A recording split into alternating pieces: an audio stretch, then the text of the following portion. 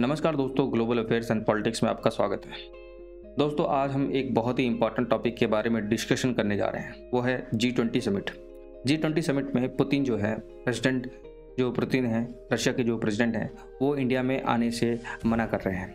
हाल ही में हमने देखा उनकी मीडिया की तरफ़ से एक डिक्लेरेशन आया ऑफिशियल डिक्लेरेशन आया है। उन्होंने कहा है कि हम जो है इंडिया में आने वाली जो जी ट्वेंटी समिट होने वाली है, जो कि 9 से 10 सितंबर को है, उसमें हम अटेंड नहीं करेंगे, हमारे प्रेसिडेंट नहीं आएँगे। उसकी जगह पर उनके जो फॉरेन मिनिस्टर हैं सरगे लवरोव वो आने वाले हैं, उसको अटेंड करेंगे as a representative from the Russia तो इसको विस्तार से समझेंगे कि भाई, पुतिन भाई साहब जो है, क्यों नहीं आ रहे हैं, क्या कारण है, क्या रीजंस हैं? दुनिया में जो नैरेटिव चलाया जा रहा है, दुनिया की मीडिया जिस तरह से बोल रही है कि पुतिन को, अगर पुतिन जो है अपने देश से बाहर आ जाएँगे तो उनको अरेस्ट कर लिया जाएगा। ऐसे से बहुत सारी चीज़ें चल रही हैं। साथ साथ जो रशिया का पॉइंट ऑफ़ व्यू भी समझने की कोशिश करेंगे, क्योंकि हमारे पास जो ज़्यादातर इन्फॉर्मेशन आती है, वो ज़्यादातर वेस्टर्न डोमिनेटेड होती है या फिर हमारी मीडिया भी जो होती है, वो ज़्यादातर वेस्टर्न डोमिनेटेड मीडिया होती है।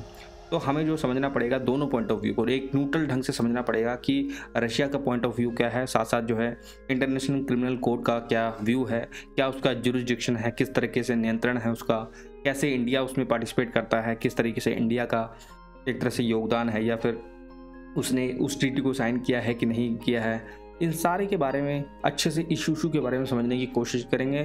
फिर समझेंगे कि जो रशिया का जो व्यू पॉइंट है, रशिया के जो प्रेसिडेंट इंडिया में जो आने वाले थे, एकदम से उनका मूड चेंज मूड स्विंग कैसे हुआ, इसके बारे में समझने का प्रयास ज़रूर करेंगे। दोस्तों, दुनिया भर के मीडिया में आज ये कवर किया जा रहा है कि पुतिन जो है जी ट्वेंटी समिट इंडिया में जो होने वाली है 9 से 10 सितंबर में, उसको अटेंड नहीं करेंगे। इसके कई सारे रीज़न बताए गए हैं, जिसमें सबसे प्रमुख रीज़न जो बताया जा रहा है, जो दुनिया बता रही है, कि जो पुतिन जो है, जो प्रेसिडेंट पुतिन है रशिया के, वो जो है इस इवेंट को इसलिए अटेंड नहीं कर पा रहे हैं क्योंकि इंटरनेशनल क्रिमिनल कोर्ट ने उन्होंने एक तरह से कन्विक्टेड साबित किया है वॉर क्राइम्स के ज़रिए। दोस्तों इंटरनेशनल कोर्ट और क्रिमिनल कोर्ट के बारे में अच्छे से चर्चा करेंगे, मगर मोटा मोटा अगर समझने के प्रयास करें तो इंटरनेशनल क्रिमिनल कोर्ट का एक जुरिडिक्शन होता है। दुनिया की कंट्रीज़ उसको एक तरह से, उस कोड को रेटिफाई करते हैं, उसकी, उसके स्टैट्यूट को रेटिफाई करती हैं और साथ साथ जो है, जो उसके प्रोसीजर्स होते हैं, उनको रेटिफाई करती है। तो उस देश पे जो है अगर कोई जो आरोप लगता है उस देश के लीडर या उस देश में लोगों के कोई पार्टी होती है कोई इंडिविजुअल होता है, अक्यूज होता है किसी क्राइम के लिए कुछ प्रमुख क्राइम्स हैं जिनको इन्होंने डिसाइड कर रखा है सेक्शन वाइज डिसाइड कर रखा है। अगर उसमें वो क्राइम अक्यूज पाया जाता है तो उसमें जो है, उसको पनिश किया जाता है कन्विक्शन किया जाता है, उसका साथ साथ जो उसको प्रोसिक्यूशन की बहुत सारी चीज़ें होती है प्रोसीजर होता है, उसको फॉलो किया जाता है, तब जा कर के उसको इम्प्लीमेंट किया जाता है। तो एक बहुत ही बड़ा रीज़न जो बताया जा रहा है कि रशिया को, रशिया के जो प्रेसिडेंट हैं, वो दुनिया में इसलिए नहीं आ सकते क्योंकि देर इज़ ए पॉसिबिलिटी कि वो अरेस्ट हो जाएँ। पुतिन को अरेस्ट कर लिया जाए। तो ये एक बहुत बड़ा रीज़न बताया जा रहा है। साथ साथ हमें समझना है कि जो रशिया की तरफ़ से रशिया की मीडिया जो बता रही है वो भी समझने की कोशिश करेंगे। क्योंकि रिसेंटली हमने देखा कि साउथ अफ्रीका में ब्रिक्स समिट हुई। उस समिट में एक हमने बहुत ही इंपॉर्टेंट इवेंट्स के बारे में देखा कि चंद्रयान थ्री लैंड हुआ सबने कॉन्ग्रेचुलेशन दिया। और साथ साथ जो है आ, सब बड़े बड़े लीडर्स ने आपस में मीटिंग करी बिज़नेस मीटिंग हुई और फ्यूचर के बारे में बताया गया और ब्रिक्स का एक्सपेंशन हुआ है। इसके बारे में मैं एक वीडियो और लेकर के आऊँगा। कैसे ब्रिक्स का एक्सपेंशन हुआ है, कैसे पावर डिवीज़न हुआ है कौन कौन सी कंट्री और नई ऐड हुई है, क्योंकि एग्ज़ाम के लिहाज से बहुत ही इंपॉर्टेंट है। साथ साथ हम समझने की कोशिश करेंगे, जो साउथ अफ्रीका में ब्रिक्स समिट हुई थी, उसमें हमने देखा कि दुनिया के जो पाँच लीडर हैं, जो ब्रिक्स में आते हैं, उसमें चार लीडर तो थे, मगर रशिया के प्रेसिडेंट जो थे, उन्होंने पार्टिसिपेट करने से मना कर दिया था। उन्होंने वीडियो कॉन्फ्रेंसिंग के ज़रिए जो है, इस ब्रिक्स में, ब्रिक्स इवेंट में जो है पार्टिसिपेट किया था। इसी इवेंट में उन्होंने ये भी बताया और जो है वेस्ट की तरफ़ बहुत ही ज़बरदस्त अटैक किया था। उन्होंने बताया कि, था कि जिस तरीके से वेस्ट जो है यूक्रेन में अपनी प्रॉक्सी वॉर को लड़ रहा है और रशिया को चैलेंज करने की कोशिश कर रहा है। वो जो है, अपने आप में एक ही एक तरह से इंटरनेशनल रूल्स के ख़िलाफ़ है। अगर रशिया के पास एक ऑप्शन है कि अपने देश को कंट्री को डिफेंड करना है तो वो वार की तरफ़ इसी इसीलिए गया है। उन्होंने एक तरह से वार को जस्टिफाई करने का एक बहुत बड़ा रीज़न बताया है। कि जो ये वॉर हो रही है, उसमें जो है अमेरिका का जो वेस्टर्न नेशन है, उनका बहुत बड़ा हाथ है। साथ साथ जो है क्रिमिनल की तरफ़ से ये भी आया है कि रशिया के जो प्रेसिडेंट हैं, वो इस समय वॉर में बिज़ी हैं। यही कारण है कि वो इस ब्रिक्स समिट पे नहीं आ पाए हैं और आने वाले दिनों में जो 9 से 10 सितंबर के बीच में हमारे देश में ब्रिक्स जो ट्वेंटी समिट होने वाली है, उसमें भी पार्टिसिपेट नहीं कर पाएँगे। The reason is, from there Russian point of view से समझने की कोशिश करें तो उन्होंने यही बताया है कि इस इस इवेंट में पार्टिसिपेट कर, ना करने का पीछे रीज़न है कि हम वॉर में बिज़ी है रशिया के प्रेसिडेंट जो है वॉर में बहुत बिज़ी है। इसीलिए जो सरगे लेवरव है वो इस वो इस आने वाले दिनों में जो है जी ट्वेंटी के इवेंट को as a representative from Russia represent करेंगे। साथ साथ हमें समझने की आवश्यकता यह है कि जी ट्वेंटी एक ऐसा समूह है जिसमें दुनिया की 20 बड़ी इकोनॉमीज आती हैं 20 बड़े देश आते हैं साथ साथ यूरोपियन यूनियन में आती हैं। और उसमें जो है अपना दुनिया में जितनी भी इकोनॉमी की पॉलिसी होगी सिक्योरिटी की पॉलिसी होगी, दुनिया में जितने जो है जिस तरीके से दुनिया को आगे ले जाना है उसमें इसके बारे में डिस्कशन होती है। बाद में जो है एक कंसेंसस डेवलप होता है, एक डॉक्यूमेंट आता है, उसके हिसाब से दुनिया को डायरेक्शन दी जाती है कि इस तरीके से जो है ये जो मेजर इकोनॉमी है जो है पूरी दुनिया को ड्राइव करेंगे रन करेंगे। साथ साथ इसमें समझने की आवश्यकता यह है कि जी ट्वेंटी इस बार इंडिया में हो रहा है। और इंडिया ने एक इस बार जो है बहुत ही इनोवेटिव तरीके से पूरे देश भर में जो है ये मीटिंग करवाई। यहाँ तक कि कश्मीर में भी मीटिंग करवाई है। उन फार फ्लंग एरियाज़ में मीटिंग करवाई है जहाँ पर पहले कोई जाया नहीं करता। जैसे नॉर्थ ईस्ट एरिया में भी मीटिंग करवाई थी। उसके साथ साथ हमारे जो जो हमारे कोऑर्डिनेटर हैं जी ट्वेंटी के अमिताभ कांत उन्होंने बताया कि जी ट्वेंटी में ज़्यादातर हाँ पता है, उन्होंने ये भी एक बहुत इंपॉर्टेंट चीज़ बताई कि दुनिया में वॉर एक बहुत बड़ा चैलेंज है। रशिया यूक्रेन के बीच में बहुत बड़ा जो वॉर जो चल रहा है पिछले साल से, उसने दुनिया में एक तरह से अलग प्रकार के चैलेंजेस को खड़ा किया है। उन चैलेंजेस से जो डेवलपिंग नेशंस हैं, जो गरीब देश हैं, जो डेवलपिंग नेशंस हैं, उसको बहुत ज़्यादा इफ़ेक्ट पड़ा है। जैसे फ्यूल शॉर्टेज देखी हमने फर्टिलाइज़र की शॉर्टेज देखी इन्फ्लेशन को देखा और ये जो चैलेंजेस हैं, वो जो एक तरफा अटैक नहीं करते। जैसे मान लीजिए फ्यूल है। फ्यूल अगर महँगा होता है तो उसके मल्टीपल इफ़ेक्ट होते हैं। उसी प्रकार से जो हमारे अवतार काद ने, उन्होंने बताया कि आने वाले दिनों में कैसे दुनिया जो है, इसमें कोऑर्डिनेट बना करके चलती है। कैसे जो है, इन चैलेंजेस को लेकर के लिपटती है। वो उन चीज़ों के बारे में ज़्यादा डिस्कस किया जाएगा कि, क्योंकि वॉर ने इन सभी जो है, एक तरह से इन चैलेंजेस को क्रिएट किया है। तो ये एक तरह से इनकी पॉलिसी बनाई जाएगी, कैसे दुनिया को आने वाले दिनों में जो है इस और एक तरह से इशू को डिस्कस करना है, कैसे इससे निजात पानी है, इन सब के बारे में अच्छे से जी ट्वेंटी समिट में डिस्कशन करी जाएगी दोस्तों, हिंदुस्तान मीडिया में भी, हिंदुस्तान टाइम्स में भी एक तरह से एक खबर छपी है। इसी के बारे में बताया गया है कि सबसे मेजर मेजर जो एक रीज़न बताया गया है कि जो हमारे रशिया के प्रेसिडेंट है, वो ना आने के पीछे एक सबसे बड़ा रीज़न यही है कि वो वॉर में बिज़ी हैं। साथ साथ जो है इंटरनेशनल क्रिमिनल कोर्ट जो है, उनको जो है कन्विक्शन में डाल दिया है और उनकी पॉसिबिलिटी है अरेस्ट होने की पॉसिबिलिटी है, ऐसा उनका मानना है। अब समझेंगे कि इंटरनेशनल क्रिमिनल कोर्ट जो है, वो क्या है?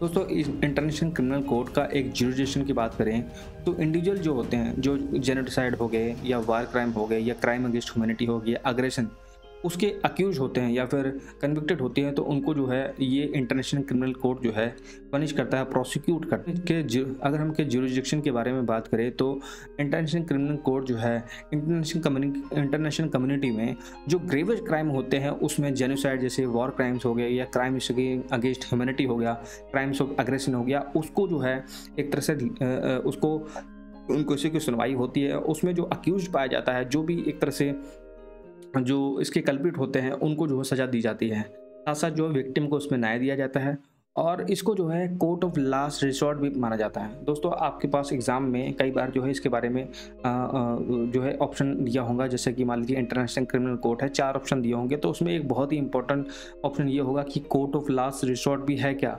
तो हाँ ये है अगर वो कंट्री जो है इसको रेटिफाई करती है इस इंटरनेशनल कोर्ट को एक तरह से अगर क्रिमिनल कोर्ट को मानती है। तो कोर्ट ऑफ़ लास्ट रिसोर्ट जो है, ये एक तरह से माना जाता है कि इसमें जो है व्यक्ति जा सकता है और अपने जो जितने भी अगर किसी प्रकार का उनके साथ प्रॉब्लम हुई है या फिर किसी केस में फंसाया जा रहा है, कोई ऐसा केस है जिसमें ये चार क्राइम्स जो इन्वॉल्व हैं तो उसकी जो है एक तरह से वहाँ पे इन्वेस्टिगेशन हो सकती है और अपनी सुनवाई की जा सकती है।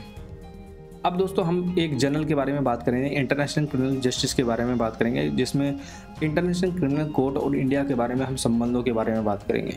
दोस्तों इंडिया ने जो इंटरनेशनल क्रिमिनल कोर्ट की स्टैट्यूट को जो है एक अलग तरीके से लिया है। उन्होंने बताया कि जो इंटरनेशनल क्रिमिनल कोर्ट है, उसमें ऑप्टिन का प्रोविज़न नहीं है। ऑप्टिन का प्रोविज़न का मतलब ये होता है कि कि किसी की देश की, जैसे मान लीजिए कोई कोर्ट है, जैसे हमारे देश में हमने देखा है कि हमारे देश में सुप्रीम कोर्ट है और हाई कोर्ट है और साथ साथ जो हमारी डिस्ट्रिक्ट कोर्ट आती हैं।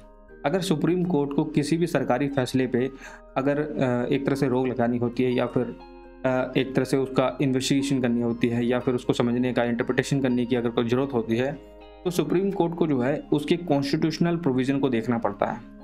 अगर कॉन्स्टिट्यूशनल प्रोविज़न को सरकार या फिर कोई भी संस्था, सरकारी संस्था होगी या फिर कोई भी देश में कोई भी संस्था उस कॉन्स्टिट्यूशनल प्रोविज़न को अगर वायलेट करती है, तभी सुप्रीम कोर्ट के पास अधिकार रहता है कि उस कानून को इंटरप्रिटेट करे, उसको अलग तरीके से रिप्रेजेंट करे, ताकि लोगों के बीच में सुप्रीम कोर्ट के प्रति तरह का विश्वास बने।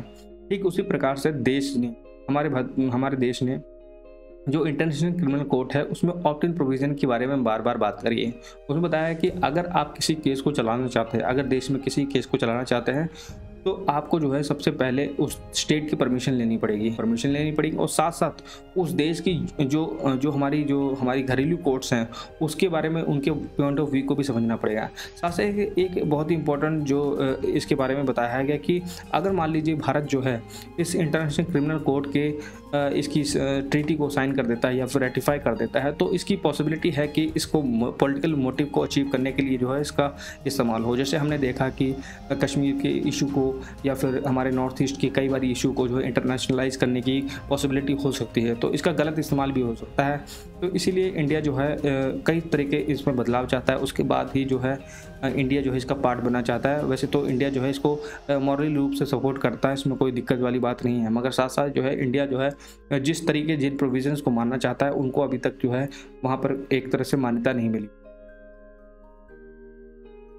अगर हम इसके ऑर्गेनाइजेशनल स्ट्रक्चर के बारे में बात करें तो इसमें जो है चार ऑर्गन्स होते हैं जिसमें प्रेसिडेंसी होती है। वो ज़्यादातर एक्सटर्नल रिलेशन जो स्टेट के साथ जितने भी एक्सटर्नल रिलेशंस है, उसके बारे में डिस्कशन होती है। साथ साथ जुडिशल डिवीज़न होता है। उसमें जो है प्री ट्रायल ट्रायल और अपील्स के बारे में डिस्कशन होती है। साथ साथ एक ऑफ़िस ऑफ़ प्रोसिक्यूटर होता है। उसमें जो है जितने भी प्रिलिमिनरी एग्जामिनेशन है इन्वेस्टिगेशन है या प्रोसिक्यूशन है, उसको देख रेख देखी जाती है। अगर रजिस्ट्री की बात करें, जो चौथा ऑर्गन है आईसीसी का, उसमें जितनी भी नॉन जुडिशियल एक्टिविटीज़ होती हैं, उसके बारे में बताया जाता है, उसको इंटरप्रिटेशन किया जाता है सिक्योरिटी की इंटरप्रिटेशन होती है, और डिफेंस और विक्टिम लॉयर्स को एक तरह से सपोर्ट किया जाता है। अब दोस्तों हमने पूरा एक इशू अच्छे से समझा कि पुतिन जो है वो जी ट्वेंटी समिट में इसलिए नहीं आ रहे हैं क्योंकि वो वॉर क्राइम में बिज़ी हैं। दूसरा इंटरनेशनल क्रिमिनल कोर्ट के बारे में पढ़ा। यही कारण है कि जो इंटरनेशनल क्रिमिनल कोर्ट की पॉसिबिलिटी है कि जिस देश ने उस इंटरनेशनल क्रिमिनल कोर्ट के जुरिजिस्ट्रेशन को अपने देश के ऊपर लागू कर रखा है तो there is a possibility cat that Putin can be arrested from that country तो यही कारण है कि पुतिन जो है दुनिया के उन देशों में नहीं जा जा पा रहे, जहाँ पर इन देश जहाँ पर इंटरनेशनल क्रिमिनल कोर्ट की पॉसिबिलिटी है कि वो अरेस्ट हो सकते हैं। वैसे दुनिया में कोई भी जो है इंटरनेशनल क्रिमिनल कोर्ट को, उनकी जुरिडिक्शन के हिसाब से या फिर कन्विक्शन के हिसाब से पुतिन को अरेस्ट नहीं कर सकता, क्योंकि पुतिन जो है, दुनिया के सबसे बड़े देश और साथ साथ जो है ताकतवर देशों में आते हैं। और दुनिया को दो बार ख़त्म करने की जो न्यूक्लियर बॉम्ब लेकर के बैठे हैं, क्या उनको कोई अरेस्ट कर सकता है? There is no possibility that की Putin can be arrested because because of the international criminal code तो इंटरनेशनल क्रिमिनल कोड को तो चाइना भी नहीं मानता है। इंडिया भी जो है इतना भी ज़्यादा नहीं मानता। मॉरली रूप से सपोर्ट करता है अभी, जैसे कि वॉर क्राइम्स हो गया अग्रेशन हो गया। वहाँ पे मॉरली रूप से जो है एक तरह से इंडिया जो है सपोर्ट करता है। मगर वॉर क्राइम्स को, के ज़रिए जिस तरीके से पुतिन को कमीशन दिया गया है इंटरनेशनल क्रिमिनल कोर्ट में यूक्रेन के खिलाफ तो वो उसमें जो है देख रेख में इन्वेस्टिगेशन चल रही है, कैसे उस केस में आगे बढ़ता है, कैसे, क्या होता है, उसके बारे में समस्या चल रही है। फिर हम कुछ फैक्ट्स और फिगर्स के बारे में बात करते हैं। दोस्तों, आपको पता है कि एग्ज़ाम में लगातार जो है इन्हीं पॉइंट्स पे जो है कई बार क्वेश्चन फंस जाते हैं। तो मैं आपको कुछ फैक्ट्स और फिगर्स के बारे में बताता हूँ। जैसे कि आईसीसी कोर्ट में 900 के आसपास स्टाफ है, जिसमें कि 100 से ज़्यादा स्टेट जो है पार्टिसिपेट करते हैं। साथ साथ सिक्स ऑफिशियल लैंग्वेज याद रखिए, इसमें हिंदी ऑफिशियल लैंग्वेज नहीं है। इंग्लिश है फ्रेंच है अरबिक है चाइनीज़ है रशियन है स्पेनिश है। साथ साथ सिक्स फ़ील्ड ऑफ़िस हैं, जो ज़्यादातर हम देखेंगे अफ्रीका साउथ अफ्रीका में है। जैसे किन्सासा बुनिया है डेमोक्रेटिक रिपब्लिक ऑफ़ कॉन्गो में है, फिर कम्पाला है युगांडा में है, ये भी अफ्रीकन नेशन है बंगुई है, ये भी सेंट्रल अफ्रीकन रिपब्लिक है। फिर नेरोबी है, ये भी अफ्रीका में तो आप अगर कोई बारी कई बार जो है आपको उलझाने के लिए क्वेश्चन में आंसर में इस तरीके से पूछा जा सकता है कि इनकी फ़ील्ड ऑफ़िस कहाँ पे है, क्या इनका फ़ील्ड ऑफ़िस इंडिया में है कि नहीं, क्या यूरोप में है कि नहीं? तो आपको कई बार कन्फ्यूज़न होगी कि जो इनकी फ़ील्ड ऑफ़िस हैं दर इज़ अ पॉसिबिलिटी कि वहाँ पे यूरोप में भी हो सकते हैं। मगर यूरोप में कोई ऑफ़िस नहीं है, ज़्यादातर इनकी फ़ील्ड ऑफ़िस जो है अफ्रीकन नेशन में ही है। जो आ, हमारी जो दो वर्किंग लैंग्वेजेस हैं वो है इंग्लिश और फ्रेंच मतलब कि जितने भी प्रोसीजर जितने भी डॉक्यूमेंट्स पब्लिश होते हैं जितने भी दुनिया भर में कन्विक्शन होते हैं उनके केसेस होते हैं वो ज़्यादातर इंग्लिश और फ्रेंच लैंग्वेज में ही पब्लिश होते हैं। साथ साथ जो है इसके हेडक्वार्टर्स की बात करें तो ये नीदरलैंड में इसका हेडक्वार्टर है। तो ये एक न्यूट्रल नेशन है नीदरलैंड एक न्यूट्रल नेशन है जहाँ पर इनके बारे में इसको इन केसेस को अच्छे से देखा जाता है। यहाँ तक दोस्तों, आज की डिस्कशन यहीं तक थी। दोस्तों, आपको लगता है कि वीडियो अच्छी थी तो वीडियो को लाइक करें चैनल को सब्सक्राइब करें। साथ साथ जो है, हमें कमेंट में लिखें कि कौन से और टॉपिक है जिनके बारे में आप डिस्कशन चाहते हैं, उसके बारे में हम डिस्कशन आपके सामने लेकर के आ जाएँगे।